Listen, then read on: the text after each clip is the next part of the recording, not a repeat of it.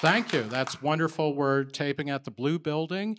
And the guest of honor tonight is Yascha Mounk, who is a Johns Hopkins professor. Give a big hand for him. And he's, he's also the founder of a really interesting online platform magazine uh, called Persuasion. And his latest book is The Identity Trap A Story of Ideas and Power in Our Time. And I don't know if anybody out there is an academic or an intellectual.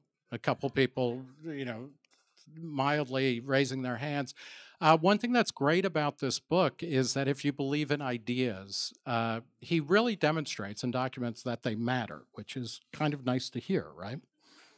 Uh, you should hope so. For sometimes, perhaps it would be better if ideas mattered less than they do. That's right. Okay, but uh, Yascha Mounk, uh, thanks for coming out. And let's start. Uh, give me the elevator pitch of uh, the identity trap. Well, the elevator pitch is that uh, you know there's a new set of ideas about race, gender, and sexual orientation that has become really influential over the last decade.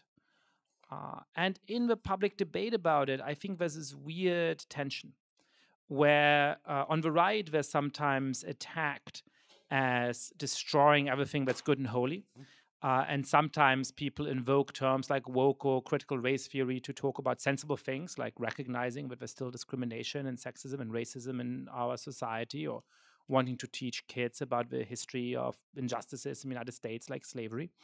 And then on, on, on, on the left and the mainstream, among many of my friends and colleagues, in response, there's this sort of suggestion that there's really nothing to see here.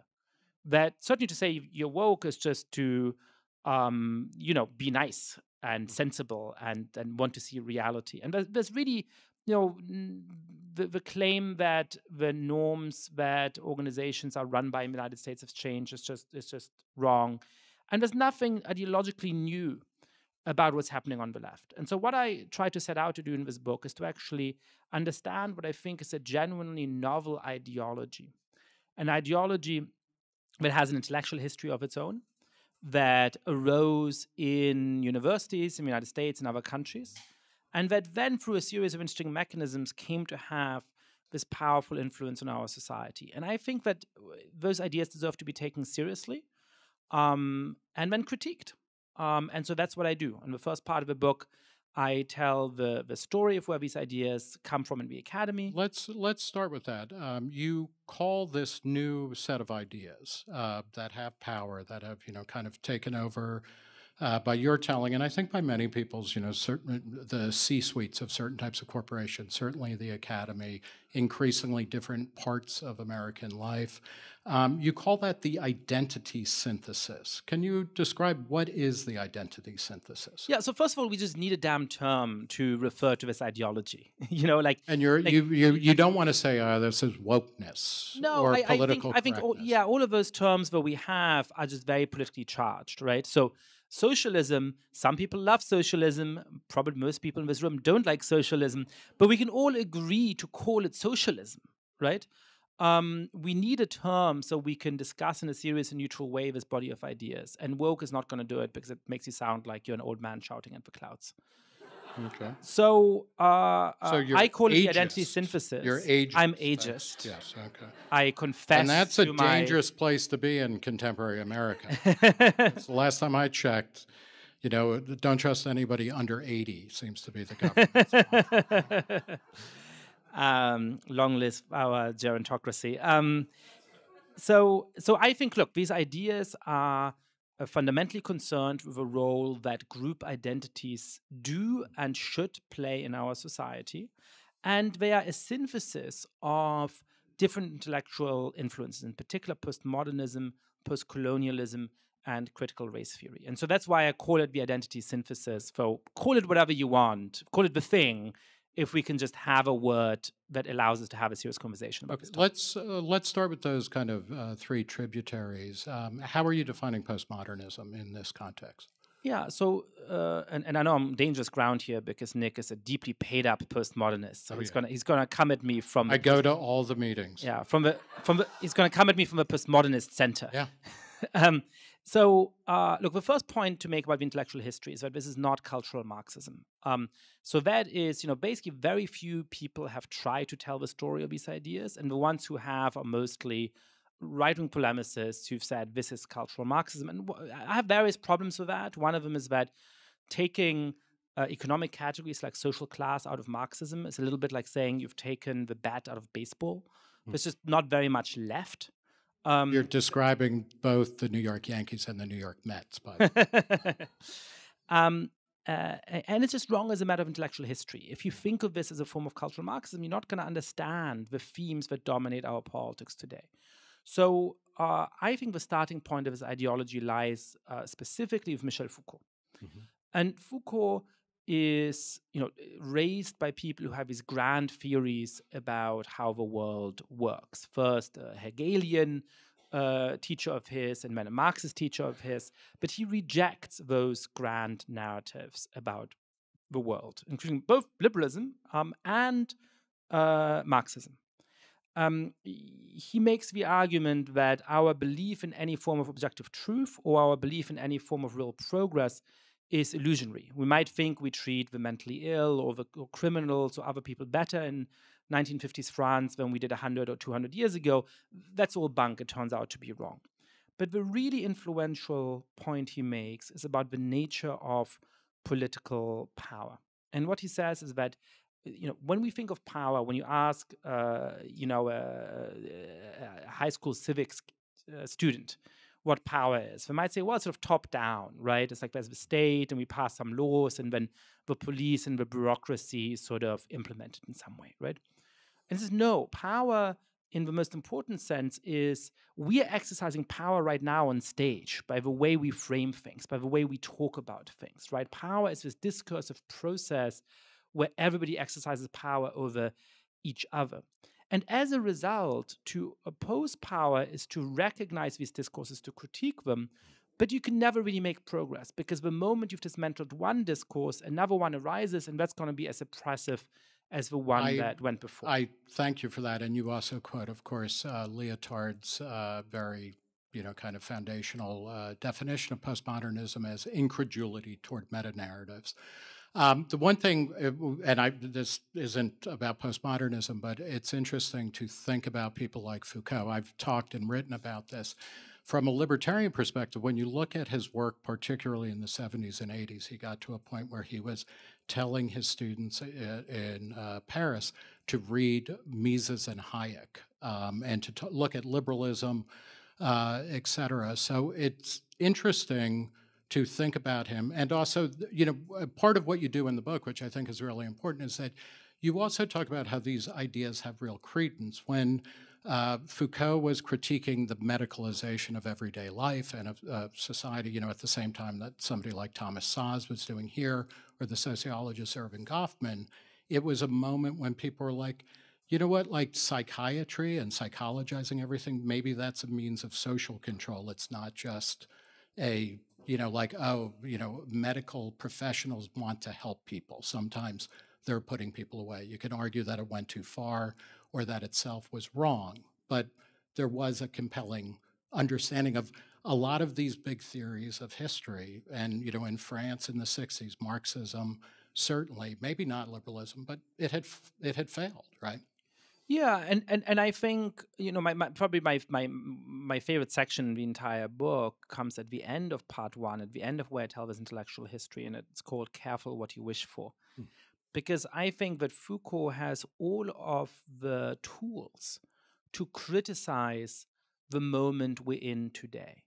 He says you know, he's a homosexual or somebody who's gay in our terms. He's a man who had sex with men. He rejected that term because he thought it was too essentializing, too simplifying, too constraining of a varieties of sexual experiences. His most famous metaphor is that of a panopticon, which he gets from James Mill, the idea that an efficient prison would be one which the guard stands in the middle in a watchtower, and he might, in theory, be looking into any uh, prison cell at any one time.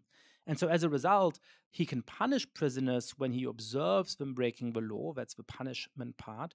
But most of the time, they self discipline because they don't know whether they're being observed or not. And so, in anticipatory obedience, they don't go close to the line. And I think that's a lot of what happens on social mm-hmm. media today, right? So, so, so, so Foucault, I think, would have hated a lot about this political moment. And then the mm-hmm. story really is, and and you know, you'll have to read the book to really find out the details of the story. Uh, the story more is- precisely, you need to buy the book. yeah, in and to buy, it- buy it right now. Pause the podcast or get out your phone. You're all allowed to get out your phone because we didn't, we, we messed up and we Mm. don't have a bookseller tonight for this wonderful sold out crowd. But you can get out your phone and, and, and buy the book right now. Um, I, I agree with you that Foucault gives, uh, or postmodernism, and particularly a kind of Foucauldian, uh, allows us to critique many of the identities that are being pushed and the power dynamics. Let's shift to the next uh, big tributary, which is post colonial Hmm. theory. And you talk about Edward Said, uh, New York's own, Columbia's own. Um, what is post colonialism and how does that move into the identity synthesis? So there's these post-colonial scholars, two of the most important ones, both end up at Columbia, um, Said and Gayatri Spivak, and they have uh, this dilemma because they're really attracted to postmodernism, post-structuralism in Foucault and Derrida and so on, because they're giving them the tools to dismantle colonial discourses which justified the oppression of their countries, right? But they're horrified by the apolitical nature, what they see as the apolitical nature of Foucault, by the he says there's no real progress to be made, right? All you can do is to critique those discourses. When I had Noam Chomsky on my podcast, he said um, when he met Foucault in a famous debate in the early 70s, he was the most amoral, not immoral, the most amoral man I have ever met, right? And so they share something that disquiet. So they go to work trying to repoliticize Foucault. And th- there's two crucial moves, crucial moves here. The first is by Edward Said, who says, all right, these discourses about the Orient help to explain how colonial power was exercised and continues to be exercised. Um, but the point is not just to recognize that, the point is to invert those discourses. What we want to do is to use discourse critique as a political tool for actually shifting power in the world. And that becomes a model for a lot of how politics works today. A lot of politics today is, you know, if you're a feminist, you might fight for abortion rights and so on, but you're also going to do a lot of politics by celebrating or critiquing the Barbie movie, by arguing what is or mm. isn't problematic. Well, right? and- and and- that's true across not just families, but Across a whole set of social movements. That's a lot of how we do politics today.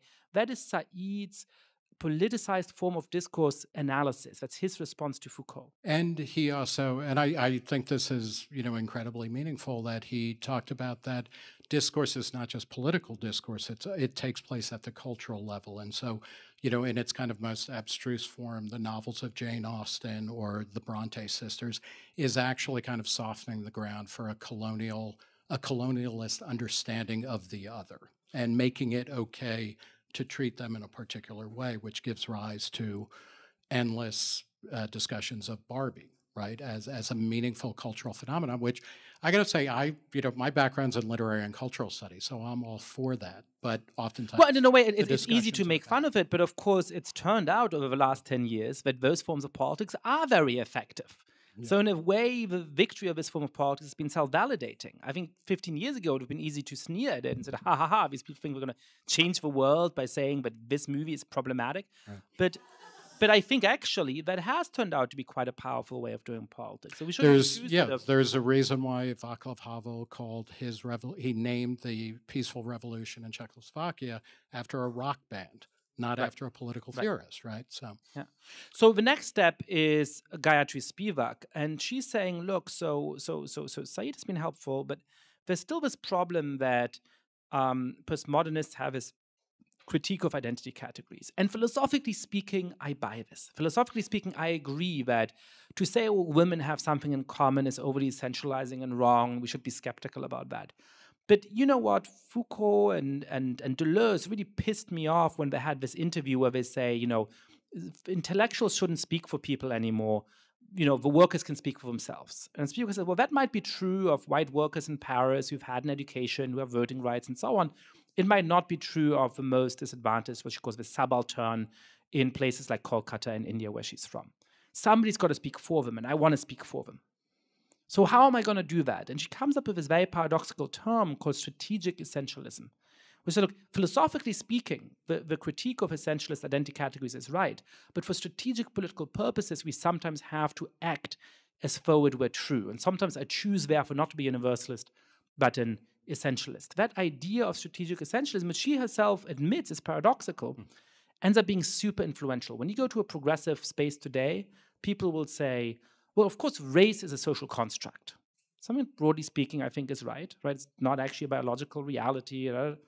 But then they'll go on to say that for all intents and purposes, we should think about race as being uh, the absolute defining thing in society. And we should want it to continue to be in certain ways. And we're going to split you up into uh, different groups depending on the color of your skin and so on. That is strategic essentialism in a, in a, in a popularized, perhaps vulgarized form in action.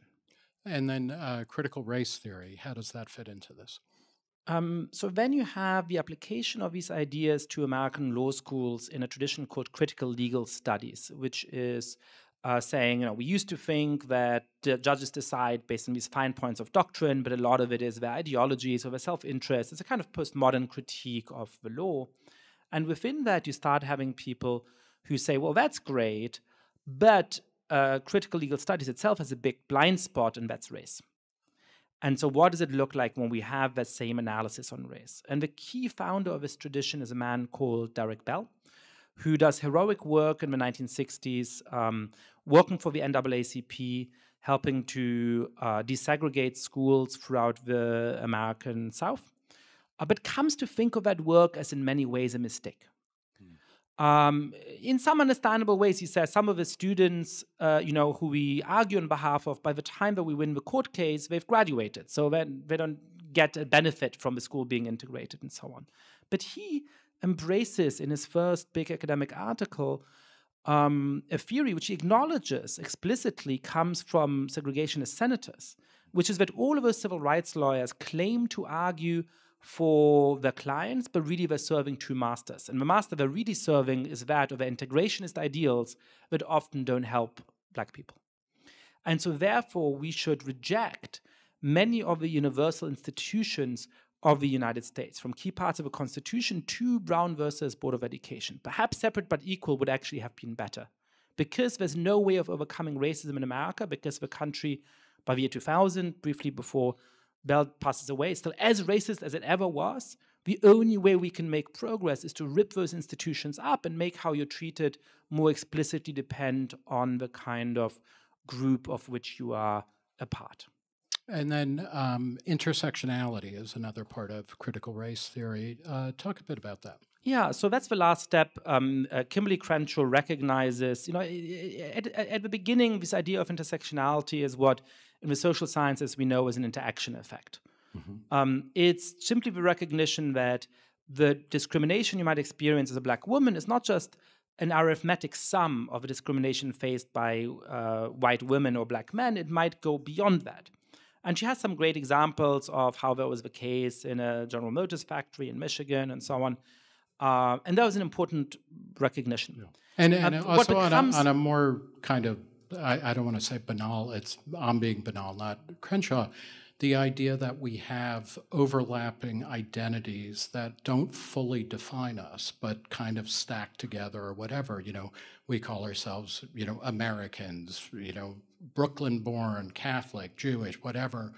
That, that, yeah, there's a kind of weird Motte yeah. Bailey going on there, right? Yeah. Where, where the Motte, the kind of straightforward interpretation of this is, uh, again, what social scientists know is an interaction effect, or knowing that like it's not, you know, like you have multiple identities and they both help to determine who you are, right? And that makes mm-hmm. sense. What becomes of that idea, and Crenshaw herself is somewhat critical of that, right. so she's not entirely to be blamed for this, is a much more far-reaching set of ideas where you're saying, look, um, if you're at a different intersection of identities than me, then I really cannot fully understand you. Mm. Um, and therefore, to have effective political action, it's not a matter of me listening to you and us having solidarity and getting on the same page. It's a matter of saying, look, I don't recognize, I, I don't understand you, but you're more oppressed than I am, so I'm going to defer to you mm-hmm. in your judgment about what to do. And that becomes a very common progressive theme. And then the other idea is that since all forms of oppression are interlinked, if you want to be in good standing fighting against a particular cause, you have to fight against all forms of oppression at the same time. So you want to join a feminist organization, you also have to agree with its view on uh, housing against development, and you also have to agree with its view on the Israel-Palestine conflict, and you also have to agree with its view on trans issues, and so on and so forth. There's there's a fantastic moment in uh, 2015 when Bernie Sanders was uh, making a campaign stop. He was running for president in Seattle, and up to this point, Bernie was like, you know, he was a class warrior. He believed that class was the most important category. And he literally got upstaged by a couple of Black Lives Matter activists who almost pushed him off the stage. But he retreated from the stage and then came out with a new, improved agenda, which threw racial issues or Black Lives Matters concerns on top of the race. And I always think of that when you talk about kind of ceding ground to the people who seem to have the moral high ground based on oppression. Yeah, and so so so so I think you know going back to how should we understand the history of these ideas, I don't I just don't think cultural Marxism gives you very much about where we are today. I think the ideas we've just talked through does give you a lot of where we are today. Not every quote unquote woke person, not every progressive believes every single one of those ideas, but together they constitute so many themes of our uh, left wing politics today, right? So, a skepticism about objective truth and universal values from Michel Foucault, a embrace of this politicized form of discourse critique as the key way of doing politics from Said, an embrace of strategic essentialism, which leads to things like the progressive separatism we see in schools of people being split into different groups on the basis of race that comes from uh, Spivak um, the skepticism about our ability to make any kind of progress, the permanence of racism, as Bell puts it, and the embrace of these race sensitive public policies of equity over equality that uh, is downstream from Bell. Mm. And then this interpretation of intersectionality as we really can't understand each other. And so to make common cause, I have to defer to you if you're in the more oppressed group. That, I think, helps to explain a lot of what's happened over the last 10 years. Yeah, talk a little bit about what happened. How do you define, I mean, you, you've sketched that out. What are some of the concrete effects, you know, say that we see in corporations? Uh, you know, let's start with that. What, yeah. how, how does this stuff play out in, in a big corporation? Well, let me give you a few examples. Um, you know, what people go to usually on this topic is kind of cancel culture stuff. And I've written about this. I've written about a Latino electrician in San Diego who was fired from his job in the summer of 2020 because somebody falsely thought that his hand dangling out of his truck was the OK symbol, which somehow was a white supremacist symbol, according to some idiots in 4chan, and he lost his job, which was the best job he ever had. So those stories are real, and I worry about that. I worry about the fact that sometimes I have lunch with friends, or I have lunch with you know CEOs or, or, or, or senators or important people, and they say the kind of thing we've been saying in this conversation, and then they add, "Of course, I would never say this publicly," and I worry about what that means for our country and for our trust in the institution. So all of that is real, but this is not a book about cancel culture. It's not a book about those stories because I actually think this ideology often has much more consequential impact. So let me give you two examples. One is uh, a, a, lady I spoke to in researching for this book called Kila Posey, an African American educator in the suburbs of Atlanta, who uh, wanted to request a particular teacher for her uh, daughter, who was, I believe, in second grade. And the principal said, Sure, of course, send me over the name. She did, and then the principal was like, Ah, well, mm. she kept deferring and saying, Couldn't you teach, choose a different teacher? Um, and eventually, Kila got annoyed and said, "Look, what's going on? Why can't I have my my my the, the teacher that I think is right for my kid?" And the principal said, "Well, that's not the black class." Now, you might think this is straight up racism, you know, segregation, the American South. This principal herself was a black woman uh, and a progressive, and she believed that for the right kind of uh, development of a child as a racial being, she has to be in, an environment with a lot of same race people. Even if she's well integrated in her class, uh, that's not good enough. She's got to go to the class where the other black kids are, right? Uh, and and we see that take place in many different contexts. You know, we are recording this in New York City, not far from here, um, uh, at Dalton School. They they have embraced the idea that uh, kids should think of themselves as racial beings in order to understand the world in the right way. At, at Bank Street School uh, for kids on the Upper West Side of Manhattan, you take a different subway line up there, uh, they do uh, racial affinity groups, and they explicitly say not only that they want the black kids and Latino kids to, in the spirit of strategic essentialism, have a form of ethnic solidarity, which is understandable at least. Um, they say the white kids need to own their European heritage, need to define themselves more strongly as white. Um, Europe, of course, is a uh, historically unified continent. As we're seeing right now, it's not like there's been any wars in Europe yeah. recently. Can I ask? I mean, you know, in the Marxist libertarian, I'm not only, a, you know, I'm, I'm very incoherent. I'm a libertarian. I'm a postmodernist, and I'm prone to Marxian class analysis. Is that a good thing that the children of the elites in New York are being taught completely stupid things because it makes the rest of us and our kids who may not have quite the same number of advantages just outperform them in the real world. Well, no, because actually, what it takes now to succeed in many elite institutions is to have been habituated into paying lip service to these ideas in an uncritical way. Um, you know, my, my students who I teach are wonderful students and they're very thoughtful but they do worry. Johns and Hopkins down in Baltimore. Yes, I, I yeah. yeah. Um, uh, but they do worry and complain that some of the professors they have, um, you know, it's very clear that you have to agree with the politics in order to get a good grade. Um, so you know, but but that the thing I really worry well about go back to you know Bologna or whatever the first uh, university was. Right? Perhaps, yeah. perhaps. I, you know, but, but but here's my real worry, which is that everything I know from history and social science teaches me that um, how you define yourself is very context dependent. Mm-hmm. There's many different ways of defining yourself. But once you define yourself by a particular group, and you see this again and again in social science experiment, if, if I get my students to debate whether or not a hot dog is a sandwich, the kids who think that a hot dog is a sandwich discriminate against the kids who think that a hot dog is not a sandwich. Mm-hmm. So if you tell those kids, we're going to put you in a white group and we're going to lecture you about white privilege and how bad white people are, they might be uncomfortable, and I don't care they're uncomfortable. You can be uncomfortable sometimes in your education, that's fine. But if you actually succeed in making them think the most important thing about me is that I'm white, a few of them might become great Ibram X. Kendi style anti racists who want to denounce white privilege. Most of them are going to become white supremacists. Right.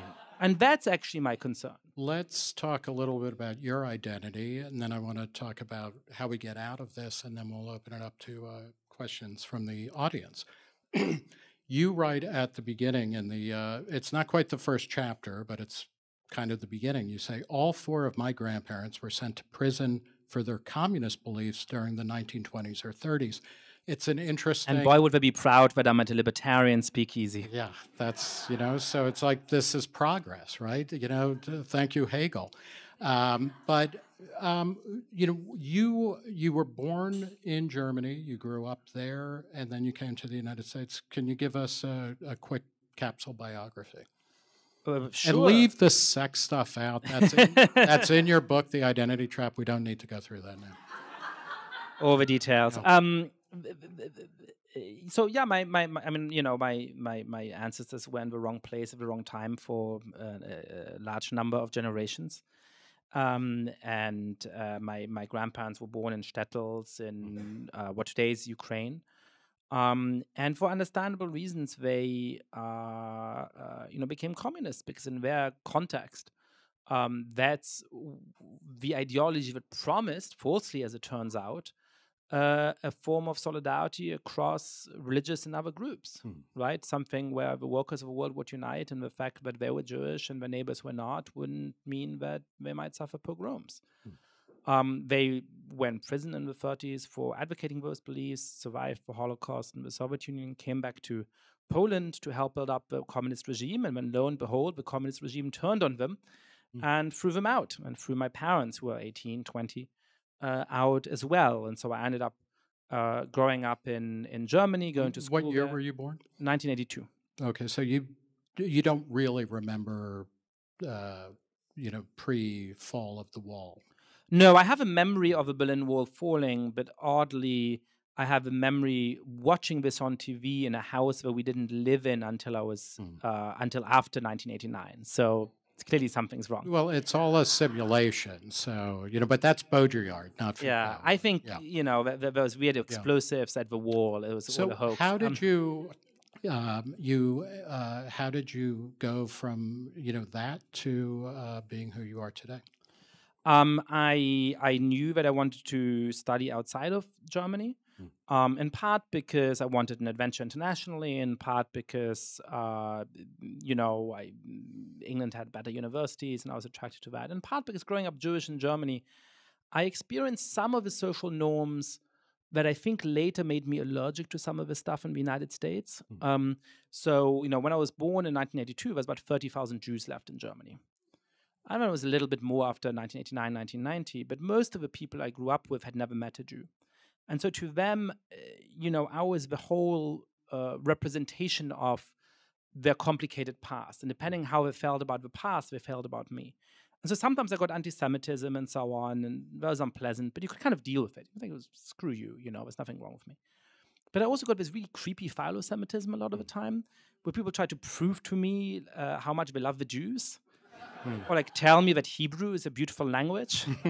At the time, most you, and, like you know Germans know beautiful languages, right? When they hear them. Well, I mean, but compared yeah. to German, surely yeah. Hebrew is a beautiful language.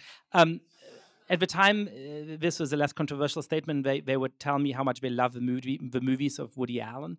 uh, um, yeah. Anyway, and so I think that's actually part of when I saw some similar norms and customs uh, entering the social space where I was in the States, where suddenly, rather than being the representative of victims, I became the representative of perpetrators. I thought I hated being treated in this way, and I don't want to treat others. Why did you come way. to the United States? Because I love New York. Yeah. And then I basically never fully, hey, yes, yeah. cheer for New York. Um, and then I like came here and I did a year at Columbia and I didn't take any classes. Said had just passed away. I didn't take any classes with Spivak. I guess I should have done. Mm. Um, uh, and then I ended up doing my PhD at Harvard and teaching in other places. And I've always like half lived in New York, but I never actually had a professional reason to be in New York. What What do you like about New York? Um, I think a lot of what I loved at the time and still love is the crime. It's it's the, the rents. It's yeah. the higher rents. Um, They're quite magnificent. I saw a comedian the other day who said, you know, stop complaining about the high rents. You really have to do something about it. If you think the rents are too high, go stab somebody. if someone stabs me, I wouldn't I wouldn't complain. I'd say thank you for your service. Um, that is not my joke, sadly. Um, no, it's it's it's that I think in New York you you you you you could at a certain time, and you still can, not be defined by who you are. I think there's something about New York that celebrates influences from all over the world and encourages people to be true to that, to be proud of their cultural heritage. And yet there are so many different ways in which cultures meet. I, I guess what I'm saying in, in, the terms of one of the chapters in the later part of the book where I talk about uh, this topic is that New York is the world capital of cultural appropriation. Right. And I love that about it. No, uh, well, let's talk about that and um, and you know move into how do we get out of the situation we're in. I think a lot of people you talk in the book, a lot of people are pessimists. Um, certainly, you know, people on the right have their own issues, but people on the left are pessimists. They can't acknowledge progress on any level. I think the right also does that in different ways. Um, how do we get out of the kind of broad-based cultural funk that we're in, that, you know, cultural appropriation is everywhere and it's bad, that identity is simultaneously completely protean, and so we, we're all borderline personalities, but then we also have these essential fixed qualities that we means we can never communicate with one another. Well, I think a lot of it is that we have to win the argument. Mm. And, and to win the argument, you have to take the ideas seriously and actually understand them and then argue against them, right? So I was joking about cultural appropriation, mm. But I think it's an important topic. So I have so mostly we've talked about part one of the book was about the intellectual history. In part two, I explain how these ideas come to be powerful, and then in part three, I criticize the main applications to areas from free speech to race-sensitive public policies. But let's take cultural appropriation as one example, right? There's come to be this general suspicion, this general taboo about mutual cultural influence, that there's something potentially dangerous and unjust about it. And I get where that comes from because there's some examples of so-called cultural appropriation that were clearly unjust, like white musicians stealing the songs of black musicians in the 50s and 60s when they couldn't have big careers. The problem is that the term of cultural appropriation fails to express what was wrong about that situation or how we could have had a remedy. What was wrong is not this musical style gaining an influence and gaining a broader audience that was beautiful. What was wrong was the horrible discrimination, outright discrimination that those black musicians suffered, which meant that they couldn't travel across the South, perform in many concert halls, be signed by major record labels. That was that's what was unjust, and that's what we should have done in order to remedy that, tackle that problem. I give the example of a uh, fraternity party at Baylor University with the uh, unpleasant name of Cinco de Drinko, um, in which you had kids, mostly white, turn up, some in ponchos and sombreros, others in construction vests and maids' outfits. Hmm. Now, this is clearly offensive. But according to the concept of cultural appropriation, you can't actually pick out what philosophers call the wrong making feature of this situation. Because from the perspective of cultural appropriation, the kids who turned up in ponchos did something horrible, but the kids who turned up in maid's outfits didn't do anything wrong because the maid's outfit is not part of Mexican culture. It's, if anything, I guess, part of French culture. So they weren't appropriating the culture, right? That's clearly absurd. What was wrong here is that we students were trying to send the message that Latinos are less than, that all they're good for is to be maids or construction workers, or there's something to be poked fun at. And so we should defend mutual cultural influence as one of the beautiful things about New York, as one of the beautiful things about America, and not give in to this idea that there should be a general pole of suspicion on ways to influence each other culturally. How would you deal with that you know, let's say you're a college administrator. Let's say everything goes wrong for you and you end up a college administrator. and you're not I would allowed rather to leave be, the country and go back to Germany or Ukraine or. Uh, I would I would rather be, and please, if I ever become a dean, uh, quote this line back to me and you know take me out yeah. in an alleyway and shoot me. Um, okay, you've got a lot. I would rather be a general, you know, you know, a regional manager of Trader Joe's than the dean, yeah. the dean of social sciences speaking of at a great American university. At least you can right? fire and hire people. But, you know, as a dean, what, you have what, no power to how, do anything. It's the worst, you know, and everybody hates you. It's the worst job in the world. In a in a pragmatic sense, like how how do you deal with a situation like that? If you you know on a college campus, Baylor is you know is a good school. Uh, it's a Christian school. It's a Baptist school. How do you explain to people like maybe that's not the greatest idea? I mean, I think uh, I don't know. In this particular case, it depends on the particular rules of the student handbook and so on. I assume that they didn't break any technical mm. rules. Um, I think that this is something that students can also handle among themselves. I think it's perfectly appropriate that there would be some kind of social repercussions for the kids who took part in that. But a lot of people tell them, "Hey, you did something terrible." Um, I'm not sure that uh, uh, you know this is something that the administration needs to get involved. It's one of the strange things that students who claim to be rebels today, the first act of rebellion is to call a college administrator. Hmm. That's not something that anybody in the '60s would have thought you should do, right? right. But, but but let me perhaps speak uh, because I feel like I gave a slightly narrow answer to your question earlier. You know, here's the here's the broadest level at which to argue against this ideology. Mm -hmm. I talked you through some of the main themes of, of the identity synthesis. Um, but you can also step back and boil it down to what I think are its three main philosophical propositions. And those are number one, that um, the key prism to understand the world is uh, race, gender, and sexual orientation. That is the thing you always have to look at in any situation to understand what's going on. And Robin if, if I may, it's fascinating. When I was in grad school studying literature uh, from the late 80s to the mid 90s, the prisms were race, class, and gender. Everything was we're going to look at the race, class, and gender implications of stuff. And it's fascinating class kind of dropped out of that. Yeah, sometimes people pay lip service to it, but when you talk, uh, look at what they actually pay attention to and actually talk about, it's very, very rare. Nobody wants The same is true of religion. Sometimes people say religion, but religion yeah. only matters when it's correlated with race. Right. So religion matters in the Muslim context in the United States because Muslim people, by and large, are non-white in the United States. Of course, there are white Muslims as well, but that's sort of how it's seen, right? Um, but it doesn't matter in context where it's not correlated with a minority ethnic group.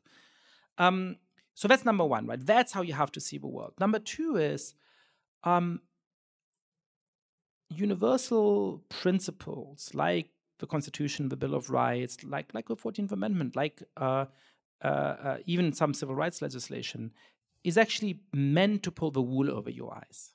It is meant to make it easier to cloak and to justify the continuation of various forms of racial, sexual, and so on dominance and discrimination. And that is why America today is as homophobic, as sexist, as racist, as whatever is as it was in the past. That's the second key claim. And then the third claim is that therefore, since we haven't made progress under these universal values, you have to rip them up and substitute it with a regime where how we treat each other and how the state treats all of us will always explicitly depend on the group of which we're a part. Now, I think that's very good philosophically liberal, I'm going to say, to bridge the space between you libertarians and me squishy, you know, center left liberal. Um, uh, there's a very good response to each of these claims. And that response is number one, that of course race, gender, and sexual orientation matter in some contexts. Of course, there's contexts where that's very important, including in the United States today uh, in general. But it is not the only thing that matters. Instead of looking at the world with just one prism, as Marxists did, just looking at class, and now we're doing just with these kind of identity categories, you have to let the situation teach you how to interpret it. We shouldn't, in the words of Jonathan Haidt, be monomaniacal in how we perceive the world. Yes, race, gender, sexual orientation matters. Yes, class matters. Yes, religion matters. Yes, our individual attributes matters. How we act matters. What our aspirations are matter. You have to let the situation teach you. Robin DiAngelo, the sort of worst popularizer of all of these ideas, has once said that um, every time that a white person interrupts a black person by bringing the entire apparatus of white supremacy to bear on them, that makes me think that Robin DiAngelo doesn't have any black friends. Because, of course, this can sometimes be true in certain contexts. It was certainly true in the 19th century in all kinds of contexts, but it's not true if your best friends who argue about politics and interrupt each other all the time. Then that's a sign of equality, right? Secondly, it is profoundly untrue that the universal liberal values we've been talking about have failed to allow us to make progress.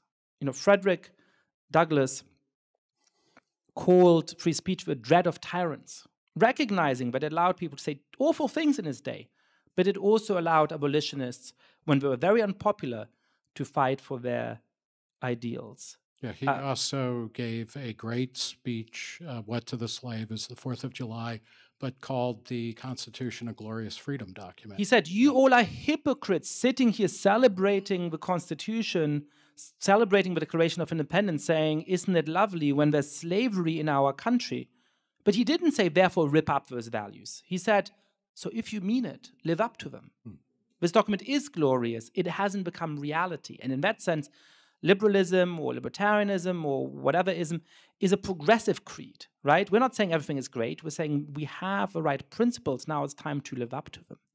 And the aspiration to live up to them from Frederick Douglass to Abraham Lincoln to Martin Luther King and others is part of what has allowed us to make progress. And by the way, it's offensive to say we haven't made any progress. Not offensive to us, wonderful Americans living today, but offensive to the Americans in the past who've suffered much, much worse discrimination. To say that America is as homophobic today as in the past is absurd when, in the lifetime of Unic and me, um, Ellen DeGeneres had to leave her talk show because she admitted having a girlfriend right? It's just absurd. And so and now she was canceled because she's a pain to work with.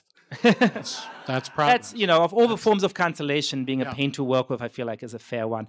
Um, the so what do we do? Well, we, we, we, we, we double down on trying to live up to these values. That is the, the right response. And that is what, uh, you know, a huge swath of Americans actually believe. And that, by the way, is the philosophy that can make you win against the generally dangerous racists and far right populists and so on, who are a very, very real threat in our politics today. All right, we're going to stop there.